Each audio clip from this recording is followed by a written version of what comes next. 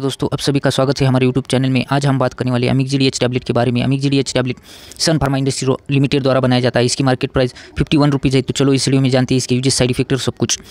अमिक जी टैबलेट का लाभ डिप्रेशन का इलाज। अमिक जी टैबलेट मस्तिष्क के कुछ केमिकल जैसे कि सोरेटोनिन के संतुलन को प्रभावित करने का कार्य करता है। यह मूड को बेहतर बनाने तथा अच्छा महसूस करने, तनाव, चिंता दूर करने और बेहतर नींद आने और आपकी ऊर्जा के स्तरों में बढ़ोतरी करने में मदद करता है। यह एक असरदार एंटी डिप्रेसेंट है, लेकिन यह सुस्ती के कारण बन सकती है। इसे नियमित रूप से लेना होगा, क्योंकि इससे सबसे अधिक असरदार होने के लिए डॉक्टर की पर्ची में यह सलाह दी जाती है इसे लेना अचानक बंद नहीं करना चाहिए। अमिक जड़िया टैबलेट के साइड इफ़ेक्ट इस दवा से होने वाले अधिकांश साइड इफ़ेक्ट में डॉक्टर की सलाह लेने की ज़रूरत नहीं पड़ती और नियमित रूप से इस दवा का सेवन करने से साइड इफ़ेक्ट अपने आप समाप्त हो जाते हैं। अगर साइड इफ़ेक्ट बने रहते हैं, लक्षण बिगड़ने लगते तो अपने डॉक्टर से सलाह ली।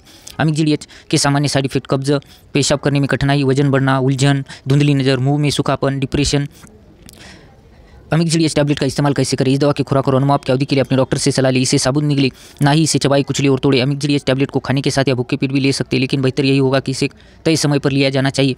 अमिक जड़ी टैबलेट को यूज़ करने के कुछ खास टिप्स अमिक जड़ी टैबलेट डिप्रेशन के इलाज के लिए निर्धारित है। इससे पहले कि प्रभाव दिखाना शुरू हो जाए। अगर चार और छः हफ़्ते पहले आपको पूर्व लाभ महसूस हो, इस इलाज को शुरू करने में एक या दो हफ़्ता का समय लग सकता है। अगर यह महसूस होता है कि यह काम नहीं कर रहा है तो एक या दो सप्ताह के बाद इसे लेना बंद न करें। जब तक आपका डॉक्टर आपको ऐसा करने के लिए नहीं कहे, तब तक अमिक टैबलेट लेना बंद न करें। अचानक इलाज बंद करने से समस्या हो सकती है, इसलिए आपके डॉक्टर ज़रूर रद्द पड़ने पर खुराक धीरे धीरे कम करने की सलाह देंगे। आपके डॉक्टर के साथ आपकी अपॉइंटमेंट नियमित रखें ऐसा इसलिए ताकि आपको डॉक्टर आपकी रिकवरी की जाँच कर सके। अगर आप कोई अन्य एंटी डिप्रेसेंट ले रहे हैं तो अपने डॉक्टर को सूचित करिए। यदि आपको आपको नुकसान पहुँचाने या आपके जीवन समाप्त करने के बारे में विचार आता है तो तुरंत अपने डॉक्टर को बताएँ। जी टैबलेट लेते सम, समय शराब से बचे यह जानकारी आपको कैसी लगी दोस्तों? अच्छी लगी हो तो वीडियो को लाइक और चैनल को सब्सक्राइब करना ना भूलें दोस्तों। अंत तक देखने के लिए धन्यवाद दोस्तों।